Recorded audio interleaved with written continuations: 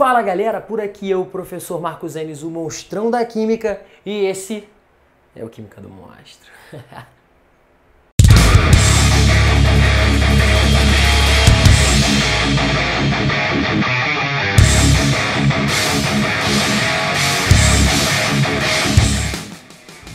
Fala galera! Na aula de hoje, princípio de Le Chatelier, o famoso deslocamento de equilíbrio químico. E antes de começar essa aula, eu sei que você já vai lá, já vai se inscrever no canal e já vai ativar as notificações. Foi? Beleza? Vem comigo então. Galera, o lance é o seguinte. Deslocamento de equilíbrio, princípio de Le Chatelier. Um sistema em equilíbrio é aquele reversível, você tem reagente formando produto e produto formando reagente ao mesmo tempo. Reação chamada de reação reversível. Então, o lance é o seguinte. Todo sistema que está em equilíbrio tende a permanecer no seu estado de equilíbrio. Quando você vem com algum estímulo externo, a tendência é que esse sistema saia desse equilíbrio durante um certo momento, mas que ele, sozinho, com alguma contração, é, vise a retornar para o estado de equilíbrio inicial, tudo bem? Então, são três fatores que vão deslocar o equilíbrio. Mostrar o que, que você colocou cinco no quadro. Eu coloquei os cinco fatores lá da cinética química, que você sabe que aceleram a velocidade das reações. Só que eu botei cinco fatores para te chamar a atenção do seguinte. Os três fatores que deslocam o equilíbrio são concentração, temperatura e pressão total do sistema. Primeiro, concentração, eu vou te ensinar a regra do urubu. Temperatura, aumentou a temperatura sentido endo, sentido endotérmico, daqui a pouco eu conto isso para você. Pressão, aumentou a pressão, você vai favorecer sempre o sentido de formação do menor número de mols gasosos, beleza? Depois, eu coloquei aqui embaixo, depois desses três fatores que deslocam o equilíbrio, ou seja, que fazem parte do princípio de Le Chatelier, eu coloquei os outros dois fatores lá na cinética química também que são a adição de um catalisador e o aumento da superfície de contato. Eles vão deslocar, entre aspas, o equilíbrio? Não. Eles apenas vão fazer com que o equilíbrio químico seja atingido mais rapidamente. Então, o estado de equilíbrio, que demorava, lá, 15 minutos para ser atingido, vai demorar agora só 10, só 8, enfim, um tempo menor do que o que levaria para esse sistema atingir o equilíbrio. Então, concentração, temperatura e pressão vão deslocar o equilíbrio. O que é esse deslocar? o equilíbrio. Eles vão alterar momentaneamente a velocidade da reação em um dos dois sentidos, seja no direto ou no inverso, beleza? Direto, reagente para produto, inverso, produto para reagente. Tranquilo? Beleza. Então esses são os três fatores que deslocam o equilíbrio. Esses dois aqui não vão deslocar, não vão alterar a posição de equilíbrio, mas vão fazer com que um sistema reacional atinja o estado de equilíbrio mais rapidamente. Foi ou não? Tranquilo? Aquele momento para você tirar o seu print. Printa aí. Printou? Beleza? Vou colocar um exemplo aqui agora no quadro e vou fazendo alterações e vendo junto com você quais são as contramedidas, quais são as modificações que o sistema equilíbrio sofre com base nessas alterações. Partiu? Galera, eu tenho aqui o processo chamado processo de Haber e Bosch, que é um processo de síntese de amônio, um processo industrial muito famoso onde você vai formar amônia a partir de nitrogênio e hidrogênio, uma reação que revolucionou a indústria dos fertilizantes, beleza? Porque um dos principais compostos nitrogenados é a amônia, tranquilo para síntese de fertilizantes. Vamos lá. Então a parada é a seguinte, eu vou fazer aqui quatro perturbações e quero saber qual vai ser a consequência de cada uma dessas perturbações sobre o sistema equilíbrio. Se liga, hein?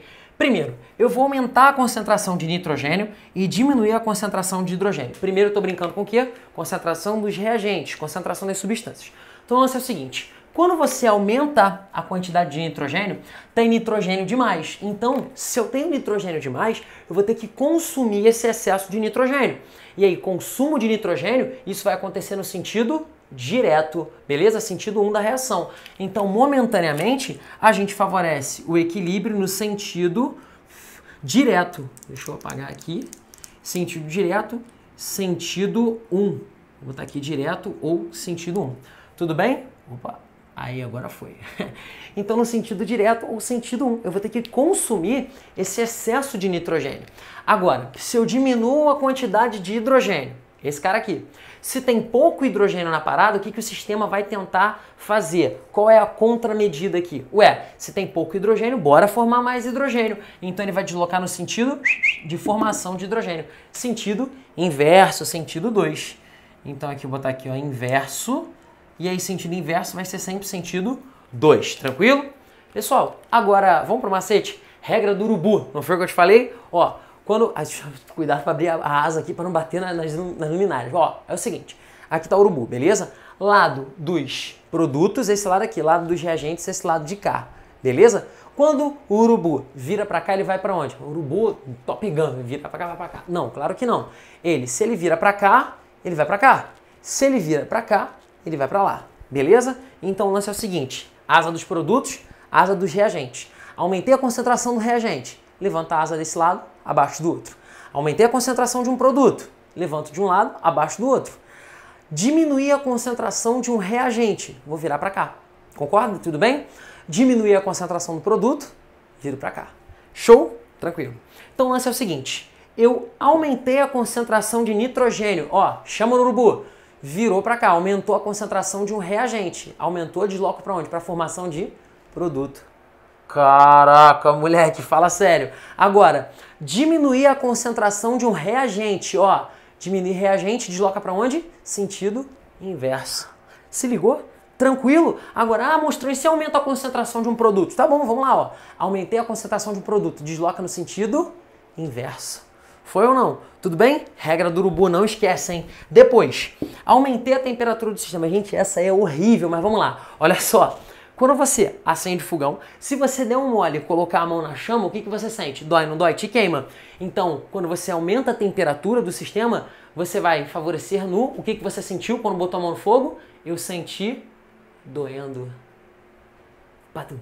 Horrível, né? Mas enfim, sentir doendo. Entendeu? Horrível, cara. Você vai sempre favorecer o equilíbrio com o aumento de temperatura no sentido endotérmico do equilíbrio. Tudo bem? Agora, monstrão, sentido endo vai ser o sentido direto ou o sentido inverso? Vai ser o sentido. Depende. Depende do seu processo em questão. Por quê? Essa reação que eu coloquei aqui, ela é endo ou exotérmica? Melhor resposta? Os dois. Por quê? Se liga, eu tenho dois sentidos aqui. O ΔH é menor do que zero. Esse ΔH aqui, quando colocado separado, por convenção, a gente vai adotar como sendo ΔH no sentido direto. Então essa reação aqui, esse processo, no sentido direto, tem ΔH menor que zero, ou seja, é um fenômeno exotérmico. Vou colocar aqui no sentido 1, é exotérmico. Acontece com liberação de calor. Agora, no sentido 2, vai ser endo, tranquilo? Então, se libera energia para formar o produto, para o produto se transformar no reagente, eu tenho que ter uma absorção de energia. Foi ou não? Então, se é endo em um sentido, vai ser exo no outro. Nesse caso daqui, é endo no sentido inverso e exo no sentido direto. Foi? Bora lá então. Então, quando você aumenta a temperatura, desloca no sentido endo, nossa, horrível. Então, no sentido endotérmico, sempre no sentido que visa o ganho de energia para a reação acontecer. Qual é o sentido endo aqui? O sentido inverso. Então aqui eu já coloco, aumento a temperatura do sistema, vai ser o sentido inverso. Sentido 2 aqui desse exemplo. Tranquilo? Agora, aumento de pressão total. Galera, o lance é o seguinte. Quando você aumenta a pressão lá no macete, eu coloquei para você que você sempre vai deslocar o equilíbrio no sentido de formação do menor número de mols gasosos. E aí o que você tem que contar? Quantos gases eu tenho de um lado e do outro? Qual o número de mols de gás que você tem de um lado e do outro? Primeiro aqui, quantos mols de gás você tem? Eu tenho hidrogênio gasoso e nitrogênio gasoso. Então, 3 mols de hidrogênio e 1 mol de nitrogênio. Nós temos quantos mols de gás aqui? Nós temos 4 mols de gás. 4 mols gasosos. Hum. Agora, do outro lado, eu só tenho NH3. Então, quantos mols gasosos a gente tem aqui? 2 mols gasosos. Então, quando você aumenta a pressão, você desloca o equilíbrio sempre para a formação do menor número de mols gasosos. Então, qual é o menor número de mols gasosos? Sentido direto, sentido de formação do menor número de mols gasosos. Nesse caso, é o sentido direto. Então, aumentou a pressão total, o que, que acontece? Nós temos aqui nesse sistema um deslocamento para o sentido direto. O equilíbrio é favorecido no sentido 1, sentido direto. Tá claro isso? Deixa eu dar uma reforçada aqui. Direto, direto. Tranquilidade? Maravilha? Bom, vou deixar você tirar o seu print rapidamente. Printa aí. Printou? Beleza? Galera, espero que essa aula possa ter sido muito útil para você e mais que ela possa ter te ajudado a aprender um pouquinho mais de química. Vamos juntos? Um beijo grande no seu coração. Até a próxima. Valeu.